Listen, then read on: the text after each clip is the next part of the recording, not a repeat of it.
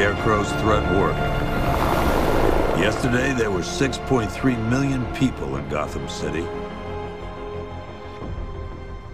Today, not so many.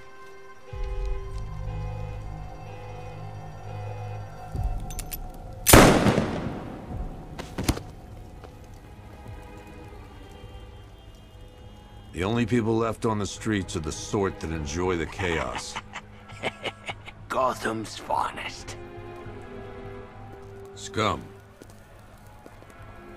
Criminals. And worse. Not enough good people left to stop them.